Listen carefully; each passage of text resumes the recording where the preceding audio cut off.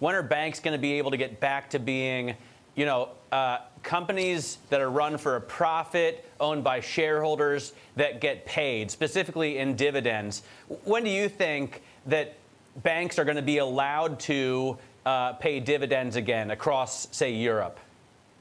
Well, I think that that's something which is going to depend very much on on uh, on what the economic situation in Europe is a few months from now. You know, in the United Kingdom, we are we have been also subject to a strong uh, recommendation by the uh, prudential authorities not to pay uh, dividend uh, so far. What I hope is that as economic recovery gets entrenched, that there would be more flexibility and therefore that banks will be given the ability to uh, uh, pay dividends and also to initiate share buybacks, which are another way of remunerating shareholders in a way which is consistent with their own uh, economic and financial situation and using a lot of prudence. So I think that prudence should continue to be the norm in dividend policy, but I think that um, uh, in a few months there should be more flexibility in terms of allowing banks to do things which are consistent with their own position.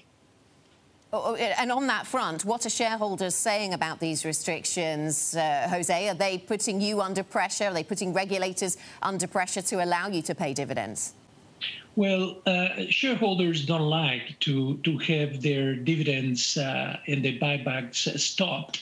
but I think that they, they they need to understand that a few months ago there was sufficient uncertainty um, and and even entropy that uh, capital conservation was important, but banks have conserved capital, and we have now capital ratios which are significantly higher than a few years ago, which are higher than last year, and we have significant buffers. And I think that subject to as I said, prudence in terms of capital conservation, I think that banks can use some of this excess capital they have to remunerate shareholders because otherwise banks are going to have, uh, uh, you know, a very difficult task in convincing investors that they should come back to investing on banks if they cannot get any dividend out of it.